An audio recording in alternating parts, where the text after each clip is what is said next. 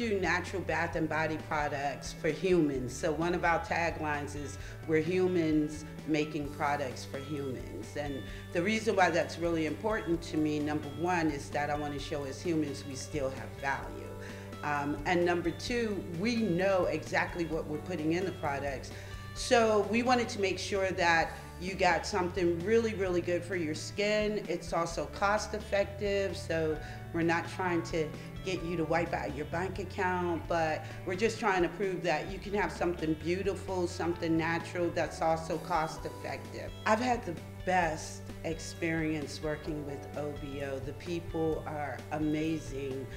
They saw something that I was still struggling with, and what they saw was that I had potential and they zoomed in on that potential with which in turn gave me the confidence that I can do this. What advice would I give other female entrepreneurs?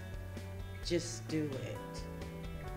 I mean, it, it's scary, it's hard, you're going to get bruised, you're going to get knocked down, you're going to cry at night by yourself, but every day you just have to get up and just keep doing it because eventually, eventually, people will recognize it. And it's the people that will lift you up. I always tell folks nobody is successful by themselves. And if you think you are, you're delusional.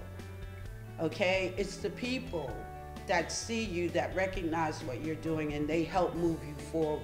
So I would encourage you all to come and check us out at Sunrise Artisan Bath and Body. It's something that we're very, very proud of. Uh, when you walk in, I tell you what, every single person that has come into this business first can't believe that we make everything uh, from scratch and they all talk about the space, how beautiful it is, and the way it feels, and the people that work here.